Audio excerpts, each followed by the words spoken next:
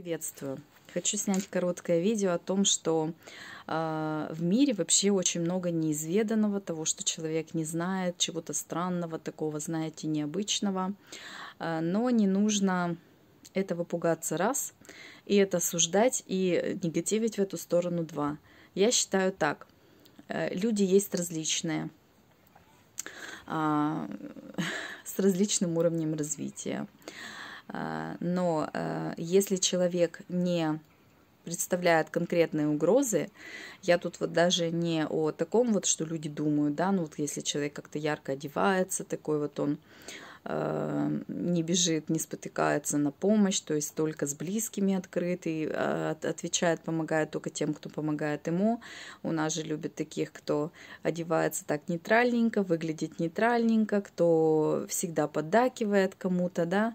Я лично таких людей не люблю. Я люблю сильные личности, э, интересные, у которых степень осознанности, осознанности очень высокая, кто умеет делать свой выбор, но кто прибегает вот пусть к любым способам, знаете, вот даже к той же магии, вообще вот хоть чему, но э, ни в коем случае не унижает других и не манипулирует.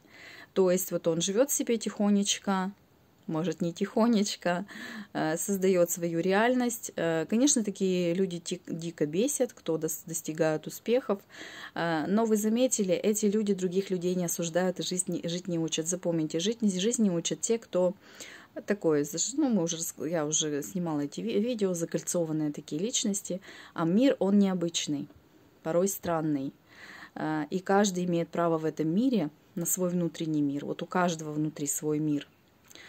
И не надо даже пытаться осуждать, рассуждать,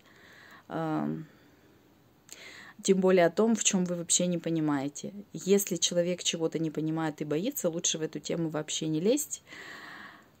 И еще раз говорю, необычного здесь очень много, странного еще больше, неопознанного еще больше.